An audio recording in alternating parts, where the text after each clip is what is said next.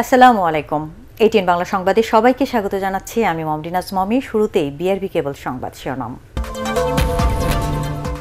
Corona স্থবির রাজনীতির চাকা আবারও সচল। কমিটি পূর্ণাঙ্গ করতে মনোযোগী আওয়ামী লীগ। বিএনপিতে চলছে তৃণমূলের দল পুনর্গঠনের কাজ।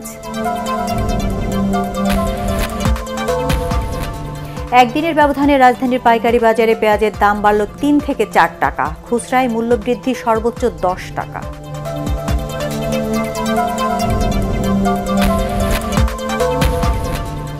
শ্বাসনালী পুড়ে যাওয়ায় নারায়ণগঞ্জের মসজিদে বিস্ফোরণের ঘটনায় বেঁচে থাকা পাঁচজনের অবস্থাও সংকটাপন্ন।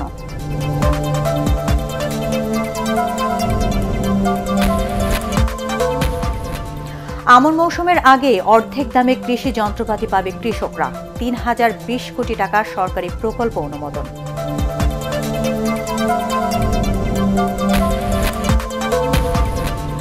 এবং অদৃশ্য সুতার ফাঁদে চট্টগ্রামের উড়াল সড়কে অভিনব কায়দায় ছিনতায় টার্গেট মোটরসাইকেল আরোহী।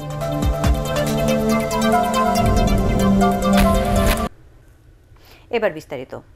করোনা মহামারীর কারণে স্থবির রাজনীতির চাকা আবারও সচল হচ্ছে। ঢাকা মহানগরের দুই কমিটি সহ সম্মেলন হয়ে যাওয়া অঙ্গ সংগঠনের কমিটি পূর্ণাঙ্গ করার মাধ্যমে দলের কার্যক্রমে গতি আনার উদ্যোগ নিয়েছে ক্ষমতাসীন আওয়ামী লীগ। অন্যদিকে বিএনপিতেও চলছে তৃণমূল পর্যায়ে থেকে দল পুনর্গঠনের কাজ। এই প্রক্রিয়া শেষে জাতীয় কাউন্সিলের চিন্তাভাবনা করছে বিএনপির নীতি নির্ধারকরা। বিস্তারিত মইনুল হাসানের রিপোর্টে। How this coronavirus is spreading. অদৃশ্য ঘাতক করোনা ভাইরাসের কারণে গেল প্রায় ছয় মাস স্বাভাবিক জীবনযাত্রা স্থবির থাকার পর আস্তে আস্তে সচল হওয়ার পথে সবকিছু। করোনা সংক্রমণের আশঙ্কায় রাজনৈতিক কর্মকাণ্ড কার্যত বন্ধ হয়ে যায়। প্রায় ছয় মাস পর সেই স্থবির রাজনৈতিক কর্মকাণ্ড আবারও সচল করার উদ্যোগ নিয়েছে দেশের প্রধান দুই দল আওয়ামী লীগ ও বিএনপি। সম্প্রতি দলের নীতি নির্ধারকদের সভায় দ্রুত সম্মেলন হয়ে যাওয়া ঢাকা মহানগর আওয়ামী লীগ সহ অঙ্গ সংগঠন যুবলীগ, কৃষক লীগ ও স্বেচ্ছাসেবক লীগের কমিটির খসড়া চলতি মাসের পনেরো তারিখের মধ্যে জমা দেওয়ার নির্দেশ দেন দলের সভাপতি শেখ হাসিনা। যেই সংগঠনগুলোর সম্মেলন সমাপ্ত হয়েছে, যাদের কমিটিগুলো এখন পর্যন্ত পূর্ণাঙ্গ রূপ নিতে পারে নাই তো সেই জায়গাগুলো তাদেরকে একটা সুপারিশ আকারে পূর্ণাঙ্গ কমিটি দেওয়ার ব্যাপারে আমরা তাদেরকে বলেছি। আর স্বাভাবিক একটা জীবনযাত্রা শুরু হবে। তখনই আমাদের এই সভা, সমাবেশ, সাংগঠনিক যেই কাঠামোগত বিষয়গুলো আছে, সেগুলোকে নজর- নজরদারিতে আনা এবং আরও বেশি করে সংগঠনকে গতিশীল করার ব্যাপারে আমরা সাংগঠনিক সফর শুরু করব। বসে নেই বিএনপিও পুরো দমে চলছে ছাত্রদল, যুবদল, স্বেচ্ছাসেবক দলের তৃণমূলের পুনর্গঠন। সেই সাথে মূল দলের অসম্পূর্ণ ও মেয়াদ উত্তীর্ণ কমিটি পুনর্গঠনের কাজও চালিয়ে যাচ্ছেন বিএনপির নীতি নির্ধারকরা। কোভিড অনেক বেশি দীর্ঘস্থায়ী হচ্ছে এবং হবে মনে হচ্ছে। অনিশ্চিতভাবে অপেক্ষা করার তো সুযোগ নেই। সুতরাং আমরা, আমাদের কার্যক্রম তো শুরু হতে যাচ্ছে এবং নির্বাচনে আমরা অংশগ্রহণ করছি। কাউন্সিলের কারোর প্রতিনিধিত্ব করে, যাতে ইলেক্টেড যারা হয়ে আসে বিভিন্ন ডিস্ট্রিক্টে সিটিতে তারাই তো কাউন্সিলে প্রতিনিধিত্ব করে।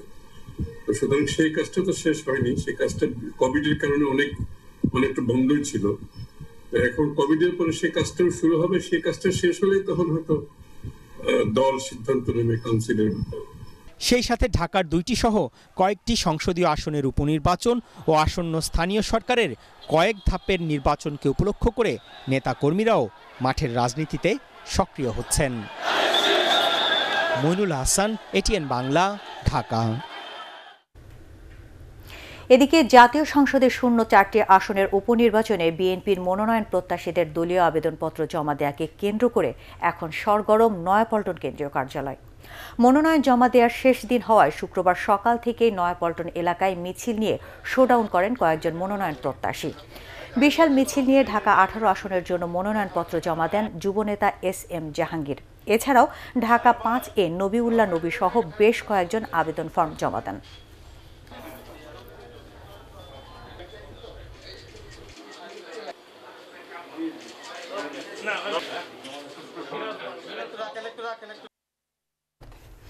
একদিনের ব্যবধানে রাজধানীর পাইকারি বাজারে পেঁয়াজের দাম বেড়েছে তিন থেকে চার টাকা পর্যন্ত। খুচরা বাজারে বেড়েছে কেজিতে সর্বোচ্চ দশ টাকা। ব্যবসায়ীরা বলছেন, সরবরাহ কম থাকায় প্রতিদিন দাম বাড়ছে। স্বস্তি নেই আদা, রসুনেও। ভরা মৌসুম হলেও ইলিশের বাড়তি দাম নিয়ে আছে নানা অভিযোগ। আদিন সজীবের রিপোর্ট। কুরবানি ঈদের পর থেকেই ঢাকার বাজারে স্বস্তি নেই। করোনায় বিপদগ্রস্ত মানুষের কাছে এখন বাজার মানেই ভয় আর দুর্ভাবনার। একদিন আগেও রাজধানীর পাইকারি বাজারে প্রকারভেদে পেঁয়াজের কেজি ছিল যা এখন তা বেড়েছে আরও তিন চার টাকা। অসহনীয় হচ্ছে দিনে দিনে। ভোক্তা অধিদপ্তর বা আমাদের সরকারের যে সংস্থা আছে তাদের যদি ঠিকমতো তদারতি থাকতো হয়তো বা এরকম অসহযোগ মানে ধামাধাম রাতারাতি এরকম দাম বাড়- বাড়তো না। পেঁয়াজ এখন বর্তমান লাগানোর সময় একটু শর্ট আছে। আপনি এইগুলো আপনার উত্তরবঙ্গে যাচ্ছে বেশি। ঢাকায় কম আসে পিসটা আর আদায় তো হাতি দেয়া যায় না। পাইকারিতেই মানভেদে কেজি দুশো টাকা পর্যন্ত রসুনের দামও বাড়তি কয়েক সপ্তাহ ধরে। যারা ইনপুট করে আদা আনতাছে তারা মনে করলেন যে একশো পঁচানব্বইটা তাদের পড়তে বসে বাংলাদেশ আসছে পাইকারি বাজারের যখন এমন অবস্থা তখন খুচরায় তো কথাই বলা কঠিন। পেঁয়াজ আদা রসুন ভোজ্য তেল সব কিছুর দামই যেন আকাশ ছোঁয়া। এক কেজি পেঁয়াজ। কালকে পঁচাত্তর টাকা কেজি কিনছি আপনার আশি টাকাতে নব্বই টাকা বিক্রি করি। এক কেজি আদা গত সপ্তাহে একশো ষাট সত্তর টাকা ছিল। আজকের বাজার বর্তমানে দুশো বিশ টাকা দুশো চল্লিশ টাকা করে খুচরা বাজারে চলে। ঝাঁকে ঝাঁকে এখন ধরা পড়ছে ইলিশ। সস্তায় কিনে এনে ঢাকার বাজারে চড়া দাম হাঁকাচ্ছেন বিক্রেতারা। ওদিকে মৌসুমি ইলিশের চাহিদাও বেড়েছে কয়েক গুণ। পাঁচশো টাকা মতো কেজি শুনতেছি বরিশালে সেখানে নিচে আটশো টাকা করে কেজি। আমরা বেশি নিচ্ছি নাকি? বেশি হয়ে যাচ্ছে মানে ওইখানে আপনি আড়তে গেলে বুঝতে পারবেন যে কেতা কত যাচ্ছে। মানে আড়তে কেতা যায় মানে জিনিসের দাম উঠে দেয়। মানুষের ক্রয় ক্ষমতা কমলেও গত দুই তিন মাস ধরে চাল আর সবজির বাজারেও অস্বস্তি লেগেই আছে। তাই সরকারি তদারকি বাড়ানোর অনুরোধ সাধারণ ক্রেতাদের। আদিন সজীব, এটিএন বাংলা, ঢাকা। রাজধানীর কাউরান বাজারে মেয়াদ উত্তীর্ণ আমদানি করা বিভিন্ন ফাস্ট ফুড আইটেম সরবরাহ করায় কমলা ট্রেডিংয়ে অভিযান চালিয়েছে র্যাবের ভ্রাম্যমাণ আদালত। এর আগে মাছের আড়তে বিষাক্ত মাছ সরবরাহ ও ক্ষতিকর রং মেশানোর অভিযোগে পাঁচজনকে বিভিন্ন মেয়াদে কারাদণ্ড দেওয়া হয়। মনির হোসেন তপুর রিপোর্ট। শুক্রবার র্যাবের ভ্রাম্যমাণ আদালত অভিযান চালায় কারণ বাজারের খুচরা ও পাইকারি বাজারে। এ সময় কমলা ট্রেডিংয়ের এই গুদামে পাওয়া যায় আমদানি করা মেয়াদ উত্তীর্ণ বিভিন্ন ফাস্টফুড আইটেম যা নতুন করে মোড়ক পরিবর্তন করে বাজারে ছেড়ে দেওয়া হতো। এখানে নেই ফ্রিজিং খাবার সরবরাহের পরিবেশও। নূর ও আহমদ ট্রেডিং থেকে এই পণ্যগুলো সরবরাহ করা হয়েছে বলে জানান র্যাবের নির্বাহী ম্যাজিস্ট্রেট সারোর আলম। বিভিন্ন জায়গা থেকে সে এক্সপায়ার প্রোডাক্টগুলি নিয়ে এসে এখানে রিপ্যাক করে। এবং যে সমস্ত প্রতিষ্ঠানগুলি আমদানি করে, তারাও কিন্তু জ্ঞাত সারে তা, এই- কমলা ট্রেডিংকে এই ধরনের পণ্যগুলো দিয়ে দেয়, যাতে করে তা সে রিপ্যাক করতে পারে। তো আমরা এই অপরাধে এখন পর্যন্ত চারজনকে আটক করতে সক্ষম হয়েছি। এর মূল মালিককে আমরা এখনও খুঁজছি, কারণ এটি খুব মারাত্মক অপরাধ। এটি মোবাইল কোর্টের আদেশের পাশাপাশি নিয়মিত মামলা দায়ের করা হবে। এর আগে মাছের আড়তে অভিযানে বিষাক্ত পিরাহা আফ্রিকার মাগুর ও টেক্সটাইলের রং মেশানো পোয়া মাছ বিক্রির অপরাধে ব্যবসায়ীদের বিভিন্ন মেয়াদে সাজা দেওয়া হয়। এই মাছগুলি আসলে এক সময় গবেষণার জন্য আনা হয়েছিল। এটা তারপরে এটা আস্তে আস্তে এটা সরাই গেছে। ছড়ায় যাওয়ার পরে এখন এটা রেস্ট্রিক্ট অনেকটা রেস্ট্রিকশন এসে গেছে। আগে ব্যাপক হারে হয়তো হয়তো চুরি করে কেউ কেউ রিমোট এরিয়াতে চাষ করে যেটা ঢাকার মধ্যে আসে। এর আগেও কিন্তু আমরা সেখানে এই আফ্রিকান মাগুর বিক্রি করার অপরাধে আমরা এটাকে শাস্তির আওতায় এনে একজনের কারাদণ্ড প্রদান করা হয়েছিল এবং সেটা ভেঙে দেওয়া হয়েছিল। দুঃখজনক হলো তারা আবার শুরু করেছে। তো আজকে মালিক সমিতি বা আরদার সমিতি আমাদের কমিটমেন্ট দিয়েছেন যে অবশ্যই তারা এই কাজটি করবেন না। মৎস্য অধিদপ্তর ও র্যাব যৌথভাবে এই অভিযান পরিচালনা করে। বিক্রয় নিষিদ্ধ এসব মাছ ও ভেজালের বিরুদ্ধে অভিযান অব্যাহত থাকবে বলে জানান র্যাবের এই নির্বাহী ম্যাজিস্ট্রেট। মনির হোসেন তপু এটিএন বাংলা, ঢাকা। নারায়ণগঞ্জে মসজিদে বিস্ফোরণের ঘটনায় বেঁচে থাকা পাঁচজনের অবস্থাও সংকটাপন্ন। আইসিইউতে রাখা হয়েছে তাদের। বৃহস্পতিবার তিনজন মারা যাওয়ায় এই ঘটনায় মৃতের সংখ্যা দাঁড়িয়েছে একত্রিশ জনে চিকিৎসকরা জানান শ্বাসনালী পুড়ে যাওয়ায় চিকিৎসাধীন পাঁচজনকে নিয়েও চিন্তিত তারা। শফিকুল ইসলাম শামীমের রিপোর্ট। নারায়ণগঞ্জের ভয়াবহ এ দুর্ঘটনায় দগ্ধ মোট সাঁত্রিশ জনকে ভর্তি করা হয়েছিল ঢাকার শেখ হাসিনা জাতীয় বার্ন অ্যান্ড প্লাস্টিক সার্জারি ইনস্টিটিউটে। এর মধ্যে মাত্র একজন সুস্থ হয়ে বাড়ি ফিরেছেন। গ্যাস লিকেজ থেকে মসজিদের ওই বিস্ফোরণে যারা দগ্ধ হয়েছেন, তাদের প্রায় সবারই শ্বাসনালী পুড়েছে। তাই এত মৃত্যু বলে জানালেন চিকিৎসকরা।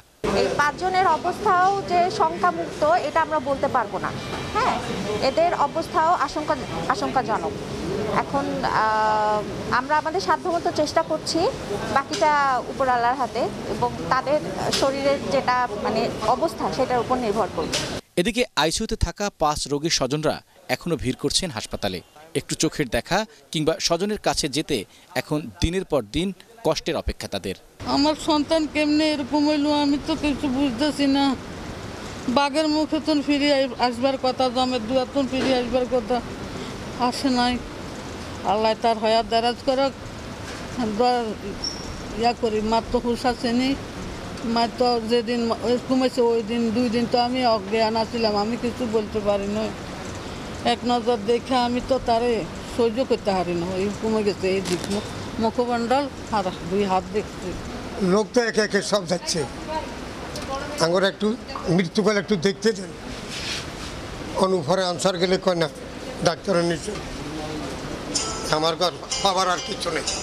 গত চার সেপ্টেম্বর এশার নামাজের সময় নারায়ণগঞ্জের বাইতুস সালাদ জামে মসজিদে বিস্ফোরণের এ ঘটনা এখন সারা জীবনের কষ্ট কান্না হয়ে গেছে ভাগ্যহত এসব মানুষের। শফিকুল ইসলাম শামীম এটিএন বাংলা ঢাকা। ঘোড়াঘাট উপজেলার নির্বাহী কর্মকর্তা ওয়াহিদে খানম ও তার বাবার উপর হামলার ঘটনায় ঘোড়াঘাট থানার ওসি আমিরুল ইসলামকে প্রত্যাহার করা হয়েছে। রংপুর সদর থানার পরিদর্শক আজিম উদ্দিনকে ঘোড়াঘাট থানায় নতুন অফিসার ইনচার্জ হিসেবে দায়িত্ব দেওয়া হয়েছে।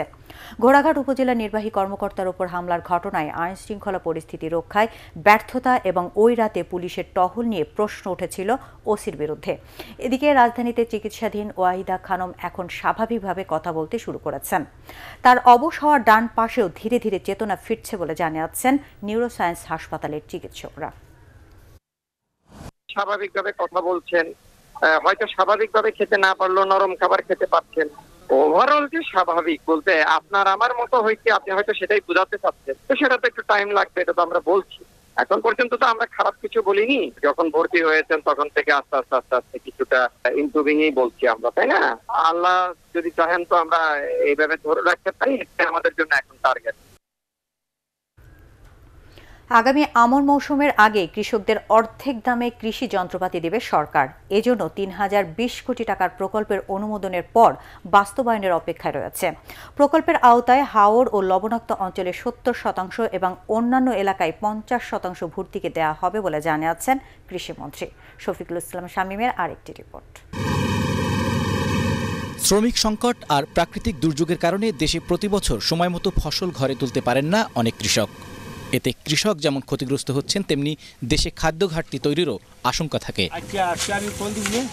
সরকার মনে করে, এ অবস্থায় কৃষকের কাছে ধান কাটার যন্ত্রসহ আধুনিক কৃষি যন্ত্রপাতি পৌঁছে দিতে পারলে ভোগান্তি যেমন কমবে, তেমনি কৃষিখাত হবে লাভজনক। এজন্য কৃষি মন্ত্রণালয় থেকে একান্ন হাজার তিনশো কৃষি যন্ত্র বিতরণ করা হবে। সরকার একটা প্রকল্প গ্রহণ করেছে, তিন হাজার বিশ কোটি টাকার। সেই প্রকল্পের মাধ্যমে আমরা এই কৃষি যন্ত্রপাতি চাষিদেরকে দিব এবং প্রণোদনা দিব। এই প্রণোদনার একটা নীতি গ্রহণ করা হয়েছে যে সমতল ভূমিতে ফিফটি পার্সেন্ট প্রণোদনা দেওয়া হবে। কিন্তু হাওড় এলাকা প্রতিকূল পরিবেশ যে খুব দরকার। আর একটা হলো লবণাক্তার উপকূলবর্তী এলাকা। সেই এলাকায় আমরা সত্তর ভাগ দিব। ইতিমধ্যে এটা এক একনেকে অ্যাপ্রুভ হয়েছে। আমরা পিডি নিয়োগ দেই নাই। এটা খুবই কম সময়ের মধ্যে এটা ইমপ্লিমেন্টেশনে যাবে। প্রকৃত কৃষক যাতে এই প্রকল্পের সুবিধা পান সেজন্য উপজেলা পর্যায়ে কমিটি করা হয়েছে। যাচাই বাছাই শেষে কৃষি যন্ত্রপাতি বিতরণ শুরু হবে বলে জানিয়েছেন কৃষি অধিদপ্তরের মহাপরিচালক। এছাড়া কৃষি যন্ত্রপাতি চালানো এবং মেরামতের জন্য প্রশিক্ষণেরও উদ্যোগ নেওয়া হয়েছে। যারা এটাকে পরিচালনা, চালনা করবেন, ড্রাইভিং করবেন, এই ধরনের এই- এই জনগোষ্ঠীকে আমরা কিন্তু প্রশিক্ষণ দিতে পারব এই প্রকল্পের মাধ্যমে এবং প্রশিক্ষণ পেলে তারা দেখা যায় তাদের ছোটোখাটো যদি ত্রুটি হয়, সেই মেশিনটা দ্রুত তারা সারিয়ে নিতে পারবে। উপজেলা পর্যায়ে একটি কমিটি রয়েছে এবং এই কমিটি কারা কারা যন্ত্র নিবে তাদের একটা তালিকা প্রস্তুত করে এটা যাচাই বাছাই করবে। যাচাই বাছাই করে সেই কমিটি অনুমোদন দেবে। অনুমোদন দিয়ে একটা প্রত্যয়নপত্র তারা দিবে যে অমুককে এই মেশিনটি দেওয়া যায়। কৃষি যান্ত্রিকীকরণ নামের এই প্রকল্প তিন পার্বত্য জেলা বাদে সারা দেশে বাস্তবায়িত হবে। শফিকুল ইসলাম শামীম এটিএন বাংলা ঢাকা। চট্টগ্রামের উড়াল সড়কে অভিনব কায়দায় প্রায়ই ঘটছে ছিনতাই। অদৃশ্য রশি বা সুতার ফাঁদে এই সড়কে চলাচলকারীদের আটকাচ্ছে ছিনতাইকারীরা। তাদের মূল টার্গেট মোটরসাইকেল আরোহী। চট্টগ্রাম থেকে আরও জানাচ্ছেন সৈয়দ তাম্মিম মাহমুদ। নগরবাসীকে যানজট থেকে মুক্তি দিতে চট্টগ্রামে নির্মাণ করা হয় উড়াল সড়ক। শুরুতে যাকে সবচেয়ে নিরাপদ সড়ক মনে করেছিলেন নগরবাসী। কিন্তু সেই পথই এখন ভয়ানক ঝুঁকির হয়ে উঠেছে। পুরো ফ্লাইওভার খালি। আমি আসতেছি, আমার গাড়ির স্পিড তেমন বেশি ছিল না, তিরিশে ছিল। যদি বেশি থাকতো হয়তো আমি গলায় লেগে পড়েও যেতে পারতাম। জাস্ট আমি স্টপ করে জাস্ট দেখলাম যে আমার এখানে কেটে গেল। উড়াল সড়ককে কেন্দ্র করে বিভিন্ন স্পটে সক্রিয় বেশ কয়েকটি ছিনতাইকারী চক্র। সন্ধ্যার পর এক রেলিং থেকে আরেক রেলিংয়ে সুতো বেঁধে প্রায় ঘটছে ছিনতাইয়ের ঘটনা। হঠাৎ এই সুতোয় বেঁধে মোটরসাইকেল থেকে পড়ে অনেকে মারাত্মক আহত হয়েছেন। রাত্রেবেলা আমরা উপর দিয়ে যাইও না। কেন ভয়ে আতঙ্কর বেঁধে থাকি কোন সময় কি ঘটে যায়? রশিটা যখন গলায় পাবে অনেক সময় হয় কি এরকম অনেকের ইনজুর হয়েছে। উড়াল সড়কে ছিনতাইয়ে জড়িত সন্দেহে এ পর্যন্ত ছেচল্লিশ জনকে আটক করেছে পুলিশ কিন্তু তারপরও বন্ধ হয়নি ছিনতাই। চব্বিশ ঘণ্টা আমাদের ফ্লাইওভারের জন্য আমাদের আলাদা পার্টি রেডি করেছি। এই পার্টি ফ্লাইওভার এই মাথা থেকে ওই মাথা পর্যন্ত। তারা মুভ করছে এবং আমাদের একটি ফিক্সড পার্টি থাকছে, আমাদের ওয়াই জাংশন যেটি ওয়াই জাংশনে কিন্তু আমাদের একটি ফিক্সড পার্টি থাকছে। ছবি তোলা কিংবা গাড়ি নষ্ট, এমন কথা বলেও ছিনতাইকারীরা উড়াল সড়কে তাদের অপকর্ম চালাচ্ছে। সড়কটি সিসি ক্যামেরার আওতায় আনার দাবি জানিয়েছেন নগরবাসী। সৈয়দ তাম্মিম মাহমুদ এটিএন বাংলা, চট্টগ্রাম। পদ্মা সেতু প্রকল্পের সার্বিক অগ্রগতি একাশি ভাগেরও বেশি এবং মূল সেতুর প্রায় নব্বই ভাগ কাজ শেষ হয়েছে বলে জানিয়েছেন সড়ক পরিবহন ও সেতুমন্ত্রী ওবায়দুল কাদের। পদ্মা সেতু প্রকল্পের অগ্রগতি পর্যালোচনা সভায় ভিডিও কনফারেন্সে যুক্ত হয়ে তিনি বলেন, সেতুর একচল্লিশটি স্প্যানের মধ্যে একত্রিশটি বসানোর কাজ শেষ হয়েছে। এ সময় সুষ্ঠু ও অংশগ্রহণমূলক নির্বাচন আয়োজনে নির্বাচন কমিশনকে সব ধরনের সহযোগিতার কথাও জানান আওয়ামী লীগের সাধারণ সম্পাদক।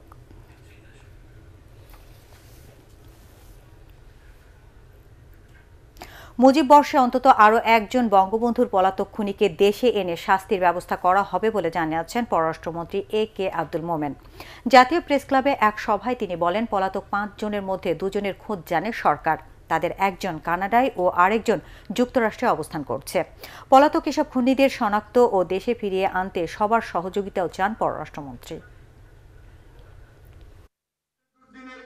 বাংলাদেশের বাকি রইল পাঁচজন।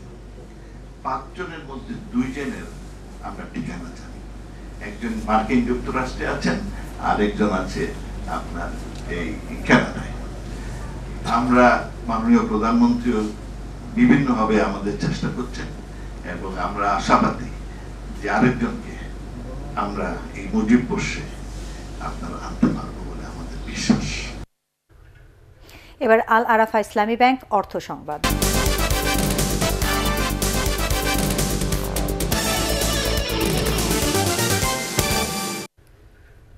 উৎপাদন বাড়াতে ঝালকাঠিতে বিভিন্ন জলাশয়ে মাছের পোনা ছাড়া হয়েছে। জেলা মৎস্য অধিদপ্তরের উদ্যোগে উপজেলা পরিষদে পুকুরের রুই, কাতল ও মৃগেল সহ বিভিন্ন প্রজাতির মাছ ছেড়ে এই কর্মসূচির উদ্বোধন করা হয়। পরে উপজেলা পরিষদ মিলনায়তনে এক আলোচনা সভায় ভিডিও কনফারেন্সের মাধ্যমে অংশ নেন আওয়ামী লীগের উপদেষ্টা পরিষদের সদস্য আমির হোসেন আমু। প্রকল্পের আওতায় বিশটি প্রতিষ্ঠানের পুকুরে তিনশো চৌত্রিশ কেজি মাছের পোনা ছাড়া হয়।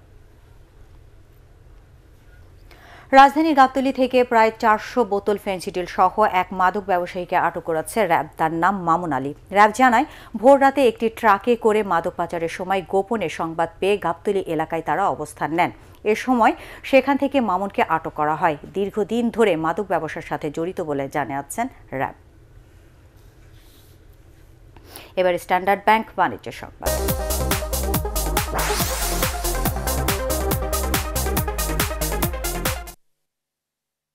এবার জানাব পার্টেক্স খেলার খবর।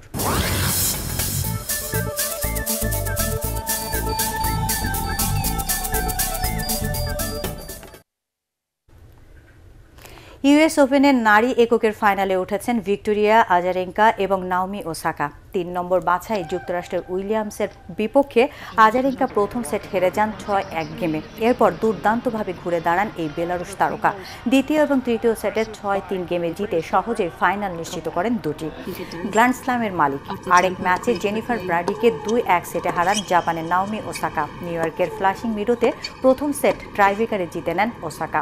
যদিও দ্বিতীয় সেট ছয় তিন গেমে হেরে যান তিনি। এরপর তৃতীয় সেটে বাইশ বছর বয়সী জাপানিজ তারকা সার্ভের বিপক্ষে প্রতিরোধ করতে পারেননি আটাশ নম্বর বাছাই। তাতে দুই হাজার আঠারো এর ইউএস ওপেন জয়ী ওসাকা সহজেই ছয় তিন গেমে জিতে ফাইনাল নিশ্চিত করেন। শেষ করার আগে বিআরবি কেবল সংবাদ শিরোনাম আরেকবার।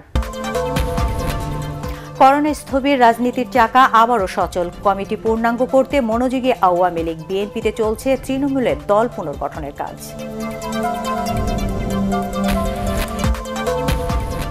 একদিনের ব্যবধানে রাজধানীর পাইকারি বাজারে পেঁয়াজের দাম বাড়ল তিন থেকে চার টাকা, খুচরায় মূল্য বৃদ্ধি সর্বোচ্চ দশ টাকা।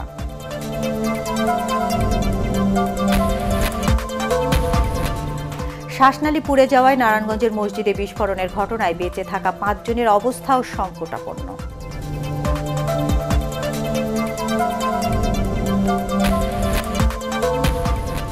আমন মৌসুমের আগে অর্ধেক দামে কৃষি যন্ত্রপাতি পাবে কৃষকরা। তিন হাজার বিশ কোটি টাকার সরকারি প্রকল্পের অনুমোদন।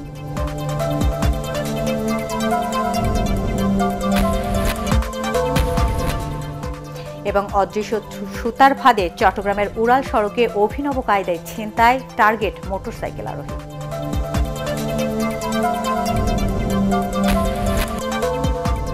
দর্শক, পরবর্তী সংবাদ দেখার আমন্ত্রণ জানিয়ে এখনকার মতো শেষ করছি। করোনা ভাইরাস থেকে নিজেকে সুরক্ষিত রাখতে মাস্ক পরুন, বারবার হাত পরিষ্কার করুন। এটিএন বাংলা সংবাদ, ইউটিউবে দেখতে ব্রাউজ করুন, YouTube slash ATN Bangla news